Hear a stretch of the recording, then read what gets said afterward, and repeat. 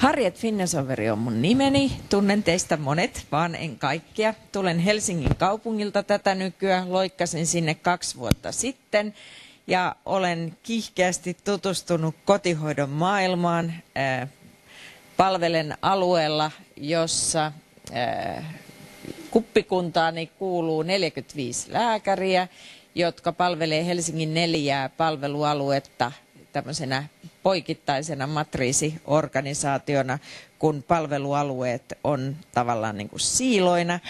Ja me hoidetaan kotihoidon ne eniten apua tarvitsevat toiminnan vajeisimmat ja sitten me hoidetaan omana toimintana tuotetut vanhainkoti- ja, ja palvelutalopalvelut. Ja nyt tämä esitys on lähtenyt tästä romahdusvaara-asiasta. Ja itse asiassa mä olen tosi onnellinen, että mä pääsin tänne niinkin ajoissa, kun pääsin kuulemaan, niin kuin sain Matista kopin tullessani, ihan sillä mielellä, että et katsotaan, äh, onnistuisiko tämä esitys jollakin tavalla myös liimaamaan yhteen jotakin näitä aikaisemmin kuultuja esityksiä. Äh, tässä on nyt yksi näkökulma lisää. Ja sisältö on tämä. Ensin kaksi diaa johdannosta ja sitten me voitaisiin vähän niin kuin miettiä niitä romahduksen solmukohtia. Ja mitä se oikeasti merkitsee yksilölle ja mitä se merkitsee tässä järjestelmässä, jota me nyt yritetään uusia ja mitä meidän pitäisi ottaa huomioon. Mulla on nyt kolme tapausta ja sitten mulla on muutama kalvo siitä, että mistä nyt oikeasti tässä maailmassa, maailmassa on näyttöä, jota on tullut tässä tietysti jo vähän aikaisemmin. Ja lähdetään näistä. Eli nämä asioita, jotka te tiedätte, mutta nämä asiat on tämän esityksen niin kuin se kulmakivi ja, ja jalusta. Eli me tiedetään, että maailman väestö vanhenee, Suomenkin väestö vanhenee. Me tiedetään, että vanheneminen altistaa sairauksille ja toiminnanvajavuuksille. Ja me tiedetään, että vanheneminen on sinällänsä hidas prosessi, johon vaikuttaa sekä perimä että eletty elämä ja mitä elämäntavat aina hidas prosessi, peruuttamaton ilmiö. Ja sitten me tiedetään, että tärkein toiminnanvajausta aiheuttava sairausryhmä on muistisairaudet, niin kuin täällä on tullut jo esiin. Ja niin kuin täällä on tullut jo esiin, tämä muistisairaus sinällänsä ei tässä palvelujärjestelmässä välttämättä aiheuta sitä tai tätä. Kyse on sen asteesta. Et se, että on diagnoosi, niin se ei pulje, sulje pois, niin kuin Arjakin tässä viittasi, tietyistä toiminnoista. Mutta sitten kun mennään eteenpäin, niin jossain vaiheessa voi sulkea. Ja itse asiassa mä haluan mielelläni nojata tähän raporttiin, joka tuli 2015 ulos. Tämä on WHOn mielestäni hyvä ja kattava selvitys siitä, että mitä oikeasti merkitsee, kun maailma vanhenee. Ja mä haluan nostaa tästä tämän e- esityksen pohjaksi yhden asian. Täällä on paljon mielenkiintoista. Kannattaa mennä nettiä katsoa, jos se on katsonut. Yhden asian, ja se on se, joka sanotaan tässä, tässäkin tuotoksessa hyvin selkeästi, että vanhenevan yhteiskunnan merkittävin tunnusmerkki on diversiteetin lisääntyminen. Ja kun me suunnitellaan näitä palveluita, niin me ei suunnitella yhdelle yhtenäiselle ryhmälle jotakin. Vaikka se olisi niin kuin segmentoituna paljon palveluja tarvitsevat, niin se on hyvin heterogeeninen porukka, erilaisia tarpeita.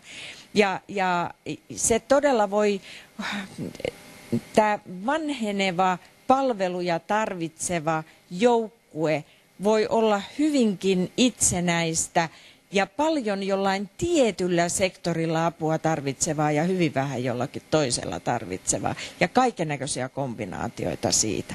Tämä on ehkä se, niin kuin se isoin asia tässä. Ja nyt me voitaisiin mennä katsomaan näitä romahduksen solmukohtia ja, ja, ja niin miettimään, että mitä tämä tarkoittaa. Käydään ensin läpi, läpi tämä portaikko, ja, ja käydään tämä järjestelmän kannalta läpi, koska Ulla Eloniemi Sulkava ansiokkaasti otti esiin sen, että järjestelmäkeskeisyys on yksi, joka määrittää järjestelmän kehittämistä. En päästä siitä mihinkään, näinhän se on, mutta se ei estä meitä näkemästä myöskin asiakasta ja asiakkaan tarpeita ja sen takia mulla on keisejä. Ja, ja katsotaan, kelle me tätä systeemiä nyt oikein tehdään. Ää, käydään ensin läpi tämä romahduksen solmukohdat juttu niin kuin sellaisella mielellä, että meillä on jo joukko omatoimisia ikääntyviä ihmisiä, jotka on heterogeenisia. Että ei sekään ole yksi yhtenäinen joukkue, mutta niitä yhdistää se tietty segmentoiva asia, joka on se, että he on arjen elämässä itsenäisiä omatoimisia. Sitten tulee se solmu, jossa tapahtuu nitkahdus. Ja se on se meidän ensimmäinen romahdusvaaran asia. Mikä määrittää niitä tekijöitä, että tullaan tuohon ensimmäisen portaan ensimmäiseen solmuun niin, että se ihminen rupeekin tarvitsemaan jonkinnäköistä neuvontaa ihan arjessa, eh, silmälläpitoa, jonkunnäköistä harvafrekventistä apua. Sehän usein alkaa jostakin suihkusta tai kaupassa käynnistä tai jostakin tämmöistä välinetoiminnosta. Mikä määrittää sitä seuraavaa solmukohtaa? Sitten tapahtuu taas jotain ja siihen liittyy ehkä osa samoja romahdusvaaran tunnusmerkkejä, ehkä jotakin erilaisia romahdusvaaran tunnusmerkkejä. Se avun tarve kasvaa. Ja sitten tullaan runsaaseen apuun. Ja jos katsotaan noita laatikoita tuossa vieressä, että no miten se sitten määrittyy se kotihoidon niin kuin, tai ensimmäisen palveluportaan alkaminen, niin se on tuolla yläällä. Ja itse asiassa mikä määrittää sit sitä kotihoidon päättymistä ja mitä ne romahdusnitkahdukset täällä on. Ja miksi mä oon pistänyt ne portaikkoon, niin mä oon pannut ne portaikkoon sen takia, että koska me katsotaan sekä yksilöä että tätä palvelujen järjestämistä, yhteiskunnallista logistiikkaa, niin noiden solmujen kohdalla on ne kohdat, jossa kustannukset kohoaa. Meillä tapahtuu jotain sellaista, joka käy yhteiskunnan kukkarolle saman tien, kun, kun, kun se vaikuttaa sen ihmisen arkeen ja arjen kokemukseen. Ja sitten tietysti se eh, asiakkaat, tuossa on iso riski sille, että kun noin solmukohdat tapahtuu, niin sille elämänlaadulle, josta Ulla puhuu, niin sille tapahtuu jotain. Et niin kuin, sille rautalankamallina näin, niin sitten me voitaisiin ruveta katsomaan, että miten oikeat ihmiset oikeassa elämässä, mitä niille voisi tapahtua. No ylimmälle portaalle varmasti siihen, jossa tullaan sinne ensimmäiseen solmuun, niin voisi ajatella, että siellä voi, siis se on aina niin kuin iäkkäitä katsotaan ja iäkkäin tarpeita ja iäkkään mahdollista tulevaa joko lyhyellä tähtäimellä tai pitemmällä tähtäimellä tulevaa eh, romahdusta niin kuin pohditaan tai ennakoidaan, niin siellä on aina muutos. Ja se muutos on jotakin muuta kuin vanheneminen. Vanheneminen oli hidas, vääjäämätön, peruuttamaton tapahtuma. Romahdus on aina jotain, joka tapahtuu suhteellisen nopealla ajalla. Ja mitä siellä takana on? Silloin kun ollaan siellä ylimmällä portaalla, ehkä preventiosta ruvetaan falskaamaan syystä tai toista. Ei ole otettu influenssarokotuksia, ei käytetä preventiivisiä lääkkeitä, joille olisi tarvis. En tarkoita, että kaikkien pitää kaikkea syödä, vaan että joille sille yksilölle olisi tarvis. Siellä tapahtuu jotain tälle liikkumiselle tai liikunnalle, henkilökontaktien, sen, sen henkilötukiverkon, siinä tapahtuu joku muutos tai harrastukset vähenee. Jotain tällaista. Se näkyy kaikissa meidän tietokannoissa. Me tiedetään, että nämä voi johtaa ensimmäiselle portaalle. Nämä pitäisi nähdä ja kuka ne näkee ja missä kohtaa ne näkee, näitä ei näe palvelujärjestelmä, koska nämä ihmiset ei ole palvelujärjestelmän piirissä vielä, kun on siellä ensimmäisellä portailla.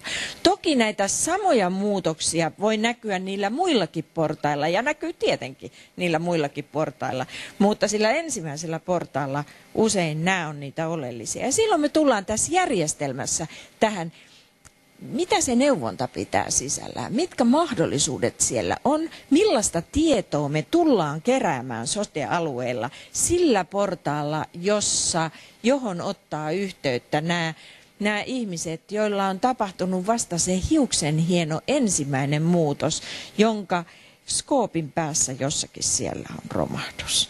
Ja silloin tulee kysymys tietysti tästä, että digitalisoituva yhteiskunta kykenee luomaan aika näppärästi erilaisia itsearviointimenetelmiä ja erilaisia riskimenetelmiä ja, ja tietokoneen käyttö voi mahdollistaa tällaisen haarukoinnin. No sitten on tietysti kaikki nämä kriisit, leskeytymiset ja muutot ja putkiremontit ja, ja vähäiseltäkin tuntuvat asiat, jotka voi johtaa tämän, tämän romahduksen päähän. Ja tietenkin sairaudet ja kaatuilut ja, ja, ja lonkkamurtumat ja nämä. Ja nyt mennään niihin äh, tapauksiin. Oitas tämä. Nyt mä sanon heti, että nämä oikeat ihmisiä, nämä on nyt ihan kuukauden, kahden kuukauden sisältä vastaan tulleita henkilöitä, joiden taustaa mä oon muuttanut niin, että nämä yksilötunnisteet ei pidä paikkaansa. Tässä on ensimmäinen mieshenkilö, joka on ollut kuusi vuotta leskenä, 90-vuotias, ollut erittäin terve ja tämä syksy 16 pitää paikkansa. Ja, ja, mutta että erittäin terve on niin kuin se määräävä tekijä. Hän on ollut täysin omatoiminen. Tämä on tämmöinen filosofi, joka on harrastanut erilaista opiskelua. Hän on käynyt kuorossa. Hänellä on ollut muitakin älyllisiä harrastuksia. Ja sitten yhtäkkiä marraskuussa 2016 kauppamatkalla tämä katuu kaksi kertaa tämä mies. Sitten hän on käynyt terveysasemalla kontrollissa, ei ole mitään kummaa löytynyt. Ja kuukautta myöhemmin, kolme vuorokautta sairaalahoidossa, infektio, siellä on kuumetta, siellä on jotakin kotiutuu huonossa kunnossa vetämätön, kotihoito tulee mukaan kuvioon, siellä on vähän lääkkeitä justeerattu. Sitten yhtäkkiä se kotihoito ihan kuukauden sisällä on kertaa neljä siellä eh, päivässä ja ruokailusta huolehditaan. Ja katsokaa, että tummalla eh, merkittyy täällä. Pain, eh, pituus 165, paino 41 kiloa. Lääkäri menee kotikäynnille, toteaa unirytmin hajonneen. Tämä mies nukkuu hyvin lyhyitä aikoja ja torkkuu siellä nojatuolissa päivisin. Mieliala on matala ja siellä on sitten masennuslääkkeitä aloitettu ja ne harrastukset on jäänyt. Hän ei käy missään, hän on siellä kotona. Sitten on rain mittareita. CPS on nolla, Täällä on rava merkitty ylös tämän ihmisen kohdalla. Siitä ei suoraan voi sanoa, että onko tämä ADLH 1 vai 2. Itse asiassa on niin, että se on alkuun ollut ykkönen, mutta sitten se on laskenut siitä. Eli tämä henkilö jää kiinni E, e, ihan päivittäistä toiminnan vajeesta, ei pelkästään e, välinetoimintojen vajeesta. Ja sitten kun se lääkäri on siellä kotona, niin se saa pienen tietyyppisen kohtauksen, jota ei sitten muista jälkikäteen. Hän on matalapaineinen ja, ja, ja ää, lääkäri on arvioinut hänet kuivaksi. Ensimmäisellä portaalla ei ole käyttänyt palveluja aikaisemmin. Mitä tästä pitää päätellä? Käytiin tämä läpi meidän lääkärikokouksessa 45 jäpikässä istumassa siellä ja raapimassa tikkuja päästään ja miettimässä, että no niin, mit, mitäs tässä nyt on sellaista, mihin pitäisi puuttua. Ensimmäinen, mitä meidän geriatrit sanoi, oli, että toihan olisi pitänyt lähettää sairaalaan suoraan siitä, kun se tuli lääkärille, kun lääkäri meni kotikäynnille, niin siitä kohdasta. Tämä on painoindeksiä mä en ole laskenut tuosta, mutta se on jotakin aivan tolkuttavan matalaa. Tämä ihminen on nälkäkuoleman partaalla suunnillensa, 41 kilonen mies. Mitä täällä on tapahtunut täällä takana? Tämä on elänyt omaa elämänsä, eihän tämä ole päivässä laittunut, come on. Mutta hän on laittunut neljä kiloa tämän syksynkin aikana, jolloin hän on ollut jo seurannan kohteena. Mitä tästä opitaan? Tästä opitaan itse asiassa sellainen asia, että mä tuun takaisin tonne noihin mittareihin kohta, että niin kuin tässä pilapiirroksessa sanotaan, ensimmäinen sanoi, hei, I love the ancient Greek ruins, ja toinen sanoi, että hei, täällä oli eilen pankki. Kysymys on siitä, että kun me katsotaan meidän asiakkaita siellä ensimmäisellä portaalla tai millä tahansa portaalla, kuka sinä oli teille? Mitä sulle on tapahtunut? Mikä on se muutos ja missä ajassa se tapahtuu? Ja jos ei ammattihenkilöstö hallitse perusasioita tässä hoitoketjussa, jossa me arvioidaan ja neuvotaan ihmisiä, niin ei voi käydä kuin huonosti. Ja menen takaisin tänne, sitten tänne näin. Tämä oli ensimmäinen asia. No toinen asia, joka tässä tulee mieleen, on tietysti se, että no mitä täällä voisi olla takana. Ja tämä kopasee meitä kaikkia. Totta kai tällä miehellä voi olla se syöpäläinen, joka on häntä nakertanut kaikki nämä vuodet ja yhtäkkiä se lehahtaa sieltä ja sen takia hän on laittunut ja, ja näin. Me emme tiedä sitä tässä, kun me keskustellaan, mutta siellä voi olla se syöpä. Tai sitten siellä on joku, eh, siis eh, mä oon yhden sellaisen ihmisen nähnyt, jolla oli tämmöinen vastaavanlainen asia. Itse asiassa siellä oli aivoissa pieni tuumori, joka sitten tuolla silloin Marian sairaalassa selvitin se jo hän, mutta selviteltiin ja, ja tota, hänellä oli näiden hormonien, säätelyhormonien vajaa toiminta sillä tavalla, että kun ne säätelyhormonit pantiin paikoille, niin mies rupesi syömään ja tokeni ja, ja, tota, niin, nousi vuoteestansa, häntä oltiin jo saattohoitamassa, nousi vuoteestansa, mutta koti oli myyty jo alta ja niinpä hän muutti sitten yhteen hoitokotiin asumaan ja kun mä kolme vuotta myöhemmin häntä sitten seurasin, niin siellä hän oli täysin kävelevänä, täysin fiksuna ja, ja hyvässä kunnossa. Eli täälläkin voi olla takana mitä tahansa. No toi tiekohtaus tuossa, niin sehän voi tulla päästä, tai se liittyy kuivumaan, niin kuin tässä oli lääkäri ajatellut, tai se on sydänperäinen, se voi yhtä hyvin olla sydänperäinen. Ja sitten kakku pois kokonaan tästä lääkärihoidosta. Hetkinen, vaikka tämä on käynyt erilaisissa harrastuksissa ja muissa. Vaimo kuoli kuusi vuotta sitten. Mitäs jos tämä mies on ollutkin koko ajan vähän masentunut, ruokailutottumukset on muuttunut. Mitäs jos hän onkin aina vaan falskannut pikkuhiljaa enemmän ja enemmän niistä syömisistä ja vatsa on kutistunut, nälän tunnetta ei ole. Onko tämä lääketieteellinen ongelma, onko tämä sosiaalinen ongelma, onko tämä hoitotieteellinen ongelma, mikä ongelma tämä on. Me ei tiedä tästä tästä. Pointti tässä on se, että kun me katsotaan tämän ihmisen mittareita, niitä samoja mittareita, joilla me suunnitellaan näitä palveluja, niin me nähdään, että ADLH, joka on yksi näistä hyvin ennustetta ja elämän kaarta niin kuin miten kaukana olet omasta kuolemastasi, elämän kaarta mittaavista mittareista. Vielä siinä vaiheessa, kun arvio on tehty, on ollut nolla, joka tarkoittaa sitä, että tällä ihmisellä niin kuin periaatteessa on aikamoiset voimavarat siellä takana ollut, mutta tota vauhtia kun hän laittuu, niin kyllä ne voimavarat siitä häviää. Tuosta pitkä ADL, niin älkää katsoko sitä, se, on, se ei ole ollut nolla, se, se on muuta. Mut tota, ja hänen älynsä on tallella, ja siinä kohtaa, kun tämä arvio on tehty, tämä CHES-mittari, joka, joka kuvaa tätä terveydentilan vakautta, hän on itse asiassa jäänyt siitä kiinni, että täällä on muutamaa muutosta ollut täällä takana. Ja sitten siinä kohtaa, kun tämä on kirjoitettu, niin, niin se tilanne on edestynyt. Masennusmittari vilkuttaa pikkusen.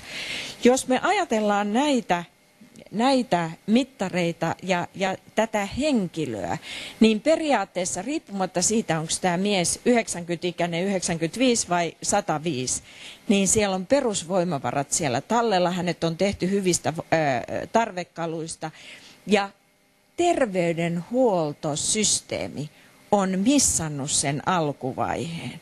Miksi tämä mies, jolla ei pitänyt olla minkäännäköisiä sairauksia, ylipäänsä on kaatunut ja miksi hän laihtuu? Ja tässä niin kuin se ensimmäinen, tämän ensimmäisen portaan päätelmä, jonne tämä ihminen kuuluu, on se, että siinä vaiheessa, kun me vastaanotetaan ihmisiä eh, ja niiden neuvon tarvetta ja, ja eh, yhteydenottoja, niin siellä pitäisi olla aika moni osaava ja moniammatillinen eh, kyky ja tieto vastata. Millä tavalla se sitten organisoidaankin, niin se tieto ja, ja, ja kyky käsitellä erilaisia pulmia pitäisi olla siellä hyvin huolehdittuna ja se neuvonta ja, ja eh, ensimmäisen portaan arviointi, palvelutarpeen arviointi pitäisi sisältää monialaisen tuota, pohdinnan ja, ja laajan mahdollisuuden tarttua ihmisiä, ihmisten e, tarpeisiin. Sitten mä, annan, mä tykitän seuraavan tähän perään. Mennään seuraavalle portaalle. Täällä onkin jo ihan erilainen ihminen. Tässä on nainen, joka on nuorempi. Hänellä tiedetään jo, että siellä on Alzheimerin tauti ihan asianmukaisesti diagnosoituna. Siellä on ollut vähän kouristelutaipumusta, siellä on verenpainetta, siellä on astmaa, siellä on kaikennäköistä muuta hörhöä, jolla tuskin mitään merkitystä tässä kohtaa ää, niin kuin palvelutarpeita, kun ajatellaan, tai tätä tai näitä romahdusvaaraa ja solmukohtia ajatellaan. Tämä ihminen, toisin kuin se edellinen, hänellä on jo ainakin kuuden vuoden tausta hiljaiselle alaspäin menolle. Ja se on diagnosoitu se tausta. Me tiedetään, että siellä on ollut paitsi tuo etenevä sairaus, Alzheimerin tauti, niin siellä on myöskin ollut tämmöistä paineongelmaa päässä, jopa sitten sellaisessa määrin, että muutama vuosi takaperin hän on saanut sinne pillin sinne päähänsä paineen alentamiseksi aivokammioista, mutta sitten 2016 syksyllä tai tuossa joulun alla, niin hän on kaatua kupsahtanut ja, ja sitten hän on vuotanut sinne aivoihinsa ja, ja se on jouduttu poistamaan se, se pilli sieltä päästä. Ja sitten hän on tullut sairaalaan ja, ja tota, fysioterapia ja toimintaterapia on aloitettu. Tästä henkilöstä voi vielä sanoa, että sen lisäksi siellä on vähän parkinsonistisia oireita ja, ja siellä on sitten väläytelty tällaista levynkappaletaudin ajatusta ja näin poispäin. Ja jos toimintakykyä katsotaan, niin, niin hän on hidas ja epävarma liikkuis, liikkumisessaan. Tässä on suuri kaatuilualttius ja, ja muistiongelmat eh, lisääntyneet sitten tämän seurannan aikana ja näin poispäin. Oleellinen asia täällä on, että siellä on lääkkeitä jo ihan toisen näköinen kasa, mutta että sieltä labrat ei oikeastaan sano yhtään mitään tästä ihmisestä. No tässä on hänen mittarinsa. Ja ne samat mittarit, joilla me suunnitellaan näitä, näitä palveluita, niin tämän ihmisen kohdalta näyttää, että että tämä ADLH eli hierarkkinen ADL on kakkosta, joka tarkoittaa sitä, että tämä ihminen tarvitsee jo fyysistä apua jokapäiväisessä elämässä selvitäkseen. Tämä alkaa olla siellä keskiportaalla. Täällä on selvästi keskivaikean ja vaikean rajalla olevaa kognitiovajausta ja täällä on myös terveydentilan, terveydentilan epävakautta. Ja jos me tätä henkilöä ajatellaan, niin mikä hänen romahdusvaaransa on? Hänhän, hän, tämä henkilö on nyt sillä portaalla, jossa kotihoitoa runsaasti, tai kotihoitoa on jouduttu lisäämään eh, vähäisestä tai epäsäännöllistä säännölliseen ja säännöllisestä runsaaseen. Ja sitten hänellä on tapahtunut tuo kaatuminen, jossa kohtaa on tullut se solmu, ja nyt se oleellinen kysymys täällä on se, että, että mikä on hänen elämänlaatunsa, onko hänen taustalla vaikuttavat sairautensa sellaisia, että tähän kannattaa satsata pitempi fysioterapeuttia ja fysioterapia ja, ja toimintaterapia jakso, vai onko niin, että tämä henkilö on tässä solmussansa astunut sen rajan yli, että nyt ruvetaan katsomaan, että riittääkö kotiin annettu tuki turvaamaan hänelle hyvän elämän, vai onko niin, että tämä ihminen on siellä vaarassa siellä kotonansa tai että hänen elämänlaatunsa on niin huono, että kannattaa ruveta miettimään sijoittamista. Ja tässä kulkee niin kuin selkeästi saman, samanaikaisesti harkittavana sekä tämän henkilön tietenkin tämä, tämä koettu elämä ja, ja ennuste ja, ja kyky tehdä se ennuste ja myöskin sitten tämän yhteiskunnan logistiikka siinä, että kenelle annetaan, kenelle ei. Ja mihin, mitä Arja perään kuulutti, että sitten samat kriteerit ja samoilla perusteilla, kun soteen mennään. Niin, että tämä henkilö kaikki ne tarpeinensa. Tulisi tietysti tarpeisiin vastattua, mutta myöskin niin, että hän, hän, tota, että hän saisi sen, mitä, mitä eh, hän tarvitsee, mutta yhteiskunnan kannattaa miettiä, kelle rajat, rajatut voimavarat eh, kohdennetaan. Hän on nuorempi ihminen. Jos joutuisi valitsemaan näiden kahden henkilön välillä, kummalla näistä on todella ne toipumisen eh, edellytykset ja kummalla ei. ei voi tietää, jolle ei ole tarkkaa tietoa diagnooseista ja, ja ennusteista. Ja sitten se viimeinen tykitys. No, tämä on nyt näiden välistä iällään oleva ihminen ja, ja hän asuu jo paikassa, jossa, jossa äh, itse asiassa hän on vanhainkodissa asumassa, asunut tässä vaiheessa, kun tämä arvio tehdään. Hän on asunut kaksi ja puoli vuotta, vaimo käy joka päivä kunto on huonontunut koko aika. Hänellä on Parkinsonin tauti ja Parkinsonin tautihan etenee sillä tavalla, että jossain vaiheessa iän mukana niitä pitää ruveta vähentämään niitä Parkinson lääkkeitä, koska pää ei niitä kestä, rupeaa tulemaan sivuvaikutuksia, ongelmia tai ne ei tehoa. Ja tässä on päästy tai jouduttu tai tultu jo siihen vaiheeseen, jossa lääkkeitä vähennetään. Itse asiassa tämä on henkilö, jonka mä itse olen nähnyt tavannut, kun me ollaan testattu näitä etälääkärilaitteita. E, ja, ja siinä niin kuin asiaan tutustuessa niin totean, että hänellä on viimeisen vuoden aikana ollut kahdesti aspiraatiopneumonia. Tässä täyttyy selkeästi elämän loppuvaiheen kriteerit. Ja sitten tässä ollaan siinä tilanteessa, jossa, jossa vaimo sisällänsä tietää, missä ollaan, ei suostu puhumaan asiasta, haluaa pitää miehensä ja, ja vaimon hätä välillä ylittää sen miehen hoidon asianmukaisuuden, jos näin voi sanoa. Ja hänen mittarinsa on täällä. Ja nyt kun me näitä mittareita kaikkia ajatellaan, niin yksilö, yksilö näyttäytyy näiden mittareiden välissä eh, niin kuin tavallaan teknokraattisesti sillä tavalla, että että palveluja voi todellakin suunnitella ja, ja aika rationaalisesti miettiä, kuinka paljon ja mitä kellekin, mutta sitten kun me tullaan yksilön tasolle, niin se ei mene automatiikalla, vaan siellä on aina niitä asioita, jotka pitää huomioida juuri tämän henkilön kanssa.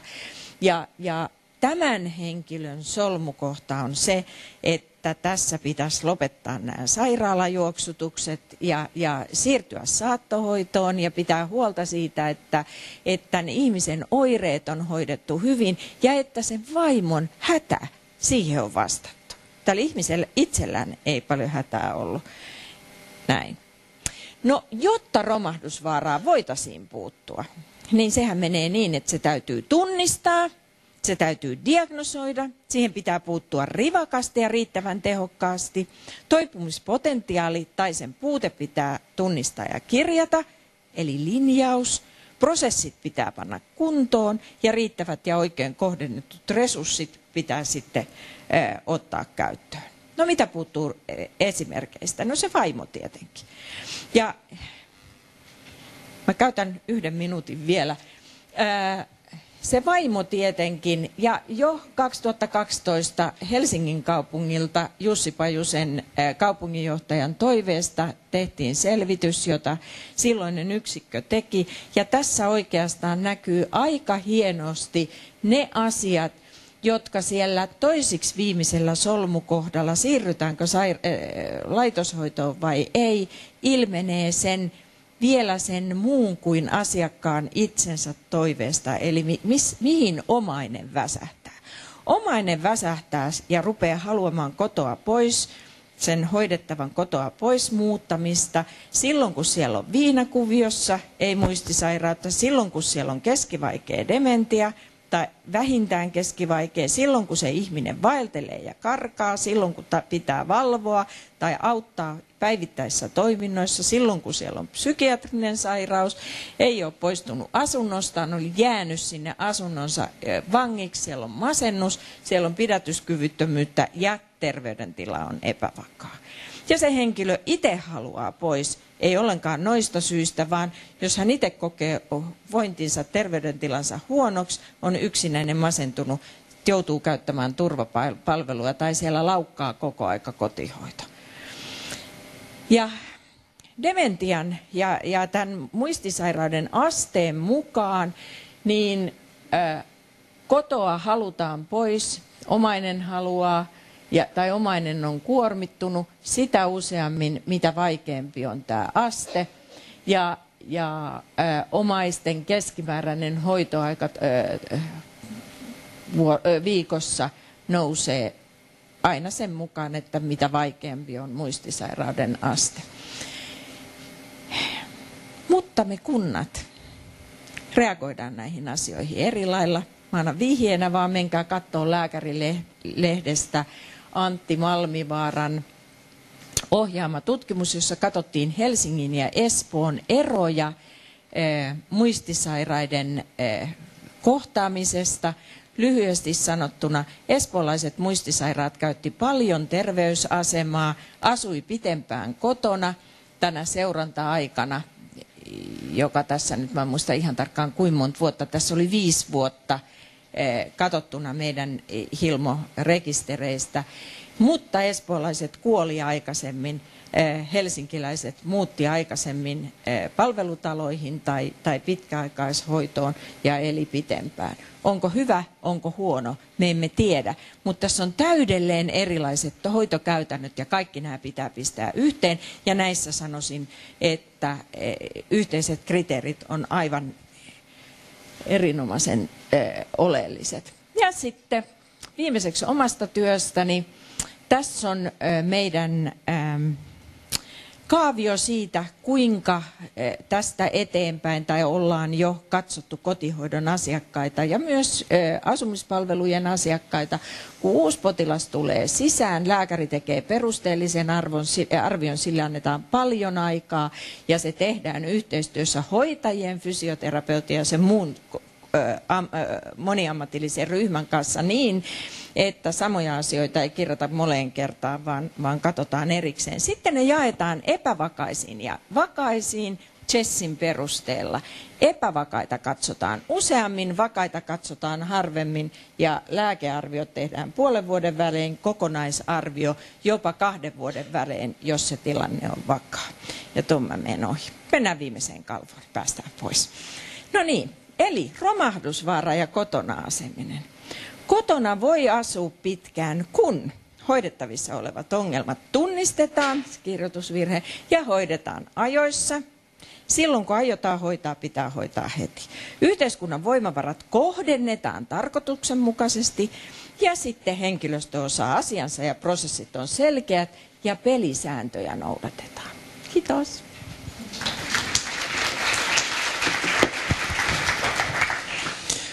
Kiitos Harrietille aina yhtä innostavasta esityksestä.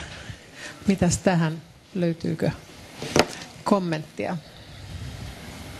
Kysyttävää? Omia kokemuksianne? Meillä on hyvin hiljainen yleisö tänään. Nyt on, nyt on se paha kohta kyllä. Täällä oli vielä hauska kuva, kuva lopussa. Hoidetaan yksilöitä aina. Niin se on. Me luodaan systeemit, jotka hoitaa yksilöitä. Hyvä, tähän on hyvä päättää tämä aamupäivä. Kiitos paljon ja tunnin ruokataukoja tuolla alhaalla on mahdollisuus sitten ostaa lounasta, jos, jos liikseen halutaan.